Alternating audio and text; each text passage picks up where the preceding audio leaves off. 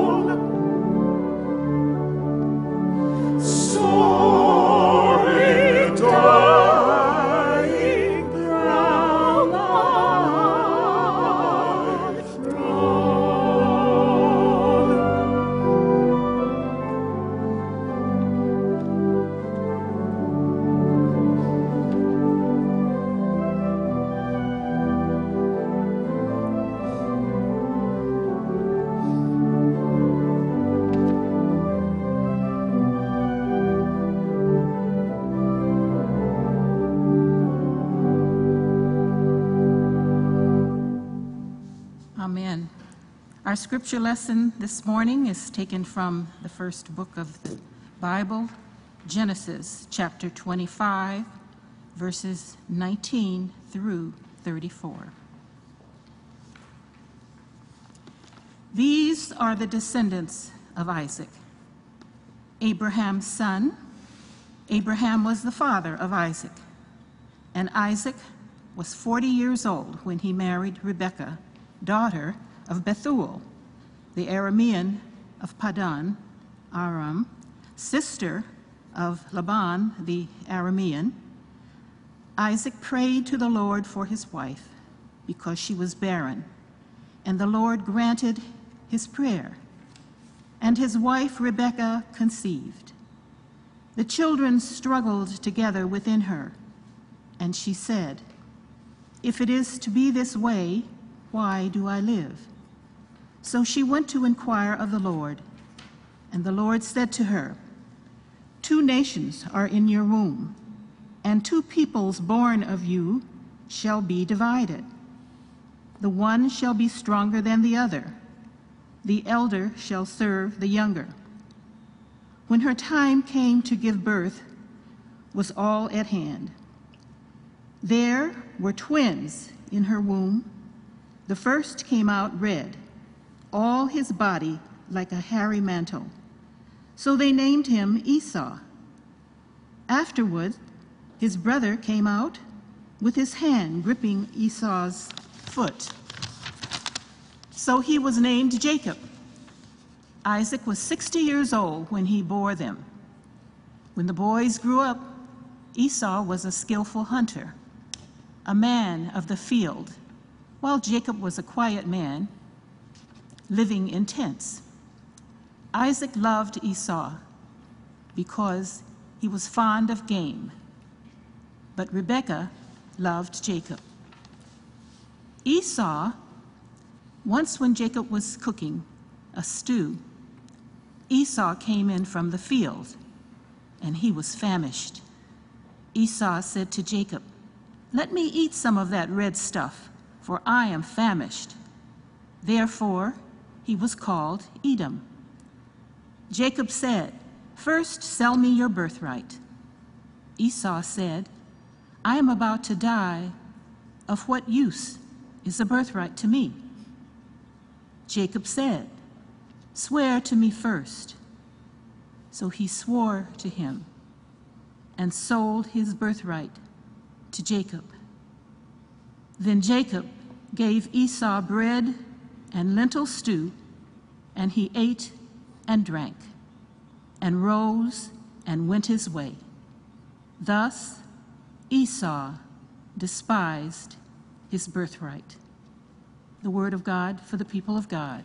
Thanks, be to God. And know, and now rather, our Ministry of Music, arranged by Jester Hairston, I Want Jesus. The Holman Music Ensemble will provide. Following that will be the sermon. What's the condition of your position? By the Reverend Paul A. Hill.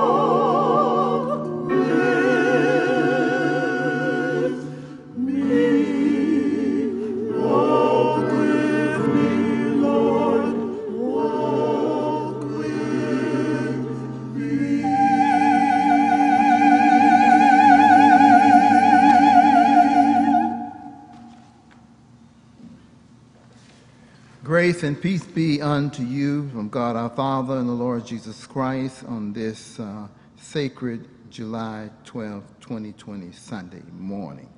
We're indeed grateful to have this opportunity to worship together, to pray together, and to serve the living God together, even though from different places and spaces of our existence. This time of the year, traditionally, my wife Allison and I uh, make a excursion to uh, Pasadena to a bookstore that uh, offers a wide variety of calendars so that we can prepare for the coming uh, fall uh, season and the latter part of this year and the beginning of the school year as we live it. However, I want to know um, how did this season of uh, this pandemic, uh, this coronavirus season, get on the schedule for this year? I don't remember having picked up a calendar in this past few months uh, that included this new uh, season. And I certainly want to be sure that as I uh, make a decision about a calendar for the year to come, that uh, I be sure to not have a calendar that includes this endless season. At least that's the way it appears to be uh, in the days to come. I have grown weary of the mask that we have to wear. I've grown weary of the distance that life requires us to keep from those that we would seek to be in relationship and communion, communion with.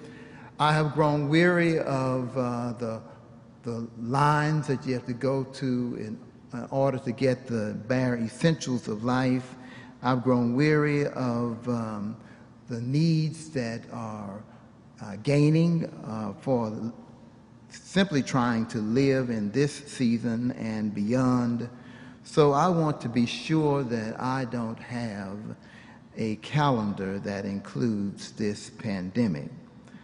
Otherwise, I have to bow to and uh, adjust to another season of pandemic. Pray that uh, that will not be an adjustment that will not continue in my life uh, in the days to come. I want to know what is the condition of your position as you anticipate today and the week and the months and years to come. What is the condition of your position as you live your life each day in the face of this uh, virus that we looked like we were moving towards uh, uh, at least being able to manage it better, if not to come to some closure to its negative influence upon all of our lives. I want to know what it is that you're calling, uh, called to do. Are you more prayerful? And faithful, reflective and meditative? Are you more compassionate and loving and caring for those that share life with you, even when you cannot see their faces or shake their hands? What is the condition of your position as you would seek to be the people of God? Let us pray. Oh God, we are grateful for every season, every circumstance, and every situation that you call us to experience in our daily journeys.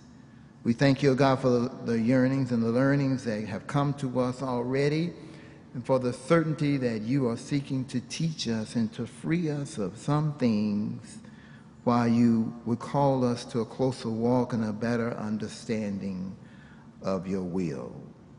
So, Lord, meet us where we are, but lift us where you call us yet to be, and help, help us, oh God, to see your handiwork and to be the ones who reflect your presence, your peace, and your power as we would seek to be your disciples in a time such as this. Now let the words of my mouth and meditation of my heart be acceptable in your sight, O Lord, our strength, our rock, our redeemer, our greatest friend, and we will be careful to give you the glory, the honor, and the praise in Jesus' name.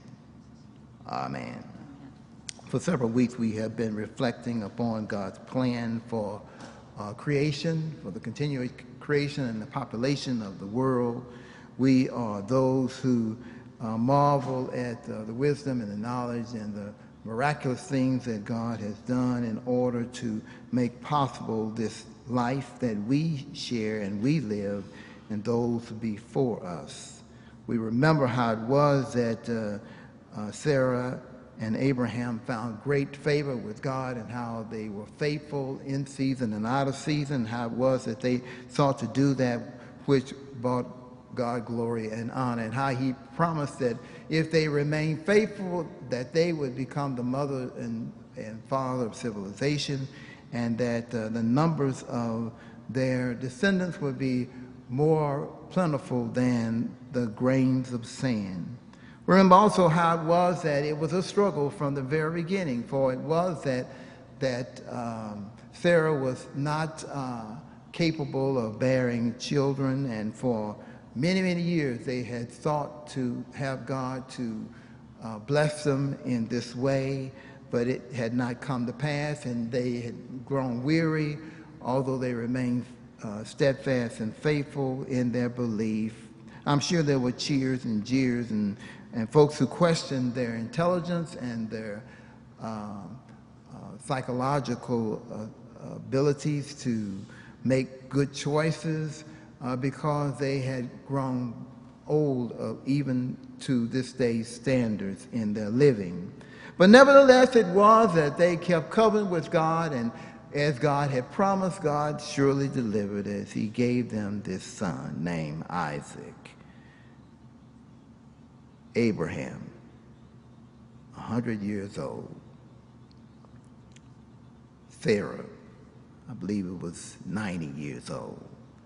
But that's not important. What's most important is that God kept covenant with them and they kept covenant with him.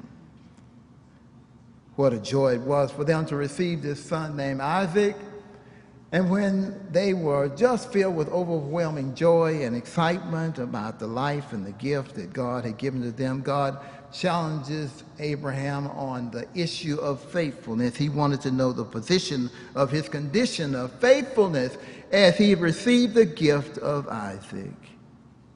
So it is he required that, that Abraham would take Isaac up mountainside and there to offer him as a sacrifice. One could ask the question, what kind of a, what kind of a joke is this that God is playing on Abraham after all of this toil, all this labor, all this waiting, all of the jeers and the tears that had been their experience. And then he brings to him the joy of his life, and then he requires that he make a sacrifice. Praise be to God for this love that hopes, bears, believes, endures all things, and does not end. This love that would call Abraham even to place his son.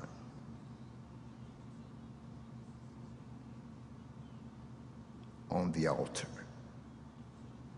The story goes on to say how it was that God spared uh, uh, Isaiah and allowed him to grow into full stature what it is that he had purposed him to be. And at the age of 40, uh, after having taken a wife uh, named Rebecca, after a strange little interlude at a spring one night, it was that Isaiah recognized that this is a woman of God's choosing for him. For she not only offered him water from the spring in their presence, but also she offered water to his camels. What's love got to do with it?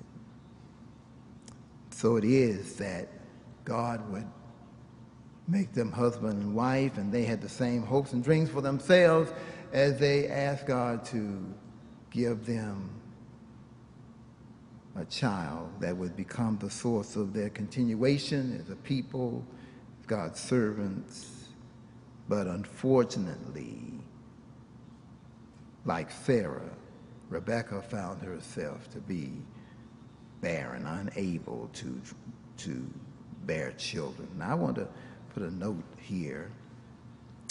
In these past couple of weeks, I've failed to mention this as a part of the story.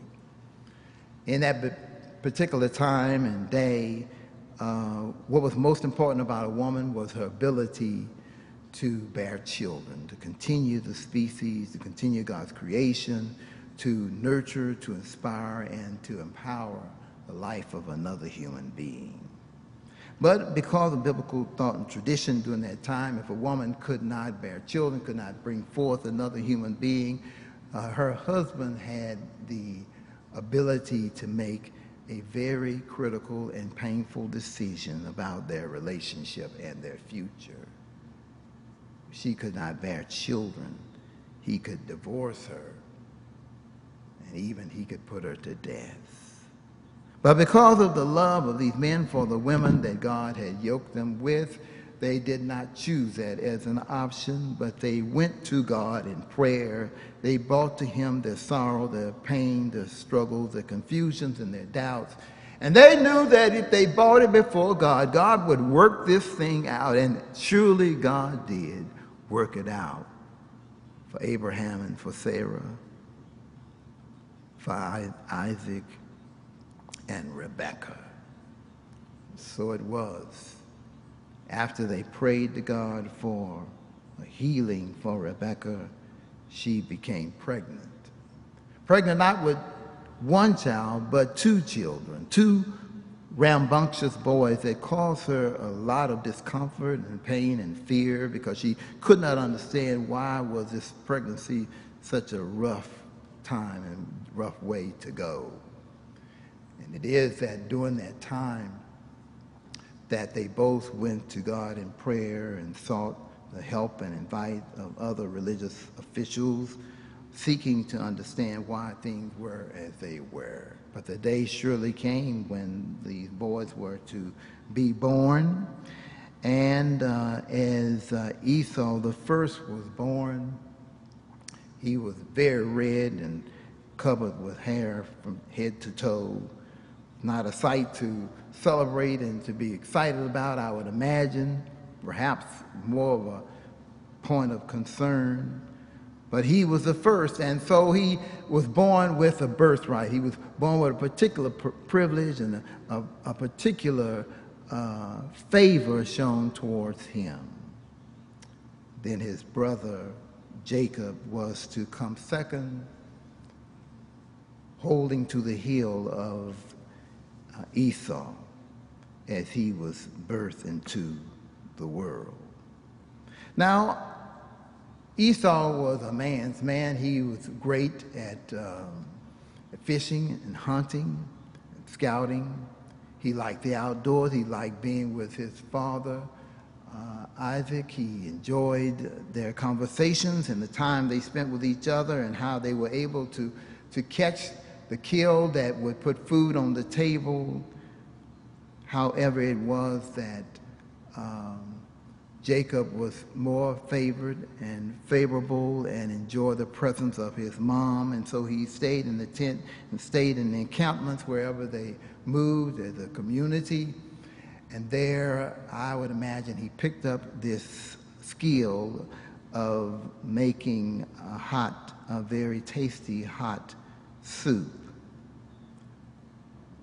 Because he was pulling at the heel of his brother Esau at the time of the birth, the expectation was that at some point Jacob would be even more the leader than Esau, the firstborn, with the favor that was shown to the firstborn and, and uh, with uh, a jealousy for the relationship that Esau uh, shared with his father Isaac but yet it was that they would move and they would share life with each other.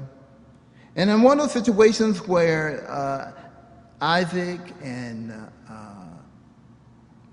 Esau didn't have such a successful time of hunting and fishing and scouting for food for the family. Uh, they came in from their excursion, uh, ravishing uh, uh, with a ravishing desire for food. And as they came to uh, be present with Rebekah and with Jacob, it was Esau who asked Jacob to give him some of the soup that was filling the place with delightful aroma and was speaking to his long awaiting and needed hunger. Crafty and one to think through things in a u- unique and difficult ways, Jacob decided that he would uh, manipulate his, his older brother Esau, who now was known as Edom. And he said, I will give you some soup if you will give me your birthright. For that was the thing that Esau had, along with a close relationship with their father that Jacob did not have, and I guess he was jealous of. But Esau felt like, what good will it do for me to, to uh, have a birthright if, if I'm not going to survive this thing? So it was that Esau made the commitment, gave his birthright to Jacob in order to eat. What is the condition in your life, your relationships, and the positions that you are taking in order to survive this pandemic and other circumstances and situations that are inescapable for you today? What is it that life calls you to do in order to, to survive and to be in covenant with other people in our communities? How much do you have to live? How much do you have to sacrifice? How much do you have to give? How much do you have to put your own life online in order to be what God wants you to be? Do you know the fears, the hurts, the harms, the anxieties, the sorrows, the sadness? That have become very prevalent in our world, even beyond Los Angeles. What must we do to get beyond this season, this situation, this circumstance, in order to see and to experience what we consider to be the favor of God?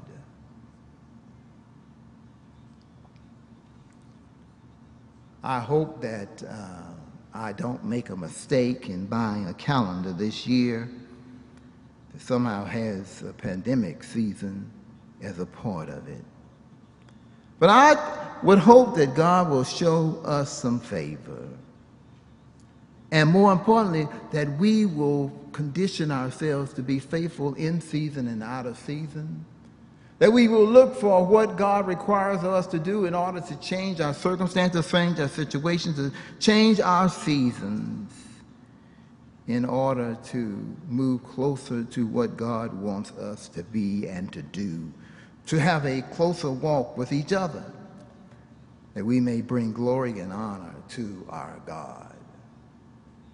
We've seen it played out in Black Lives Matter. Yes, all lives matter, but there are some of us who have been compromised by others in the human family for selfish ambitions and goals and aspirations, and it didn't matter whether we didn't have anything while others had more than was enough. May it be that we will all position ourselves in such a way that we will discover we've got some work to do in ourselves in order to be right and ready for the new thing, the new season, the new world that is evolving, even as we speak. May it be that the sports entertainments that mesmerize and even helps enemies to at least be cordial to each other, to perhaps become friends, even better than that, to see our brothers, our sisters, and our brothers. No matter where they came from, what language they may speak, or what age, or what uh, religious or social or sexual identities we may have. We will give praise and adoration and share the birthright that comes with being a disciple of Christ. May it be that God will free us from every hook and line and noose and sinker that we may create so that we may live not in fear, but live in hope. In Jesus' name. Amen.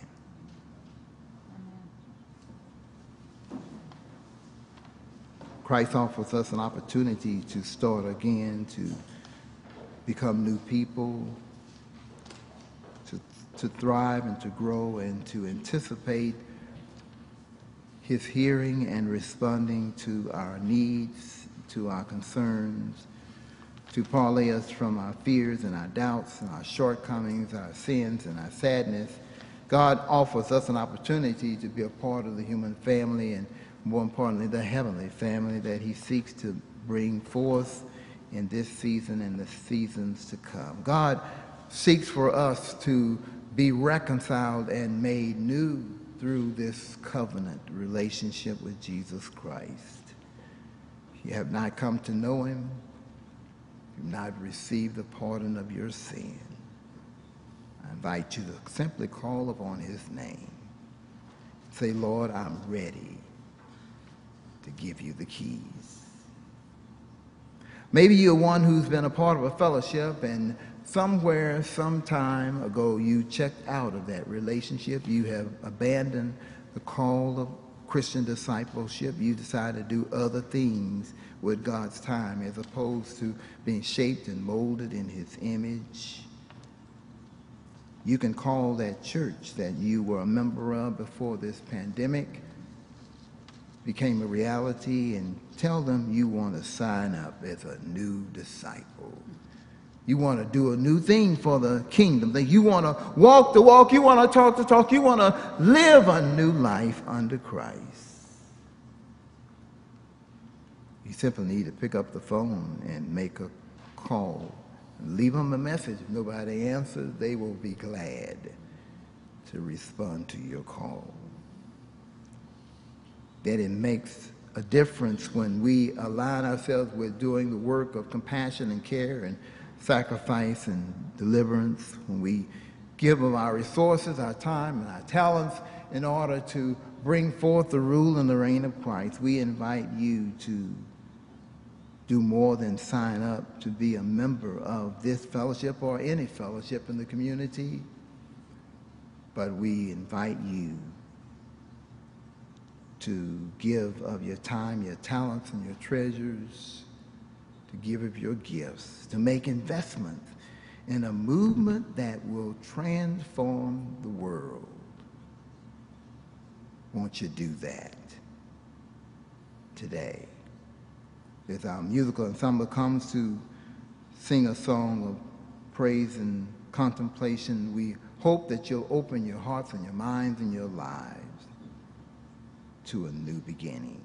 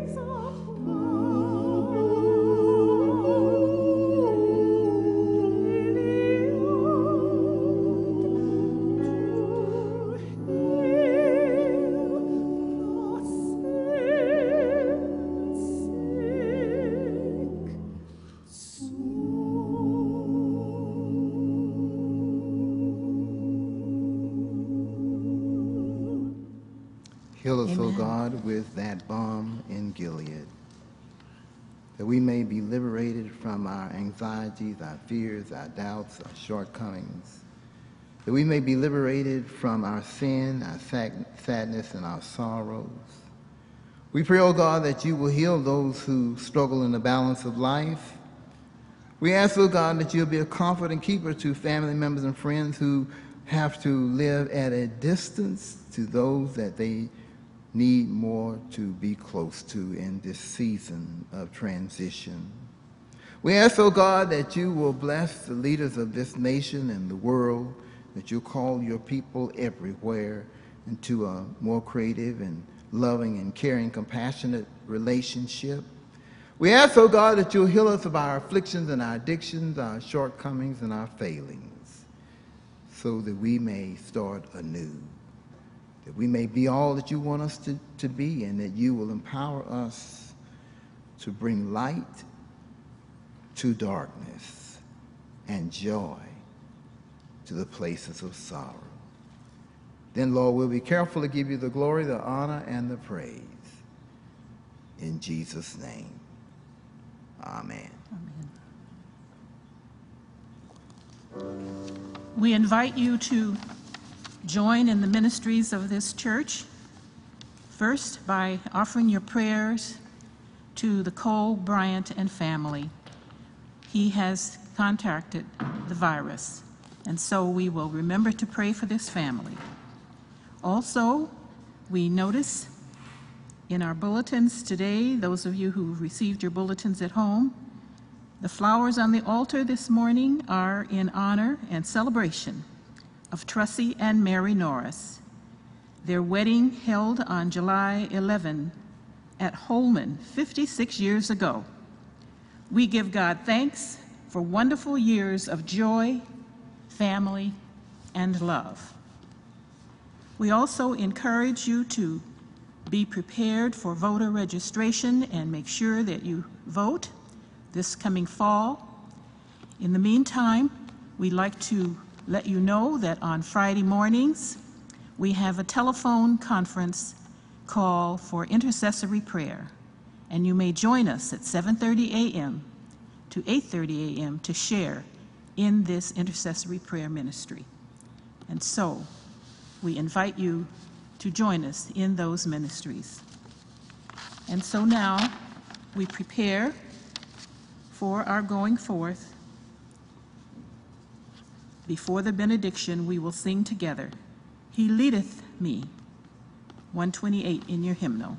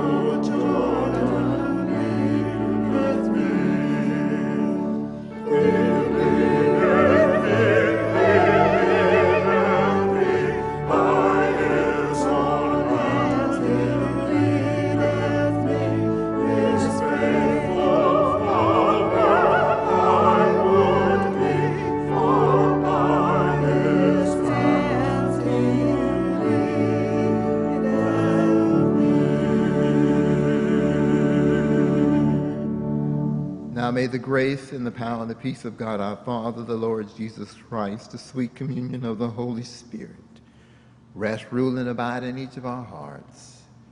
May he grant us purpose, passion, peace, and power for this day and forevermore. The people of God said, Amen.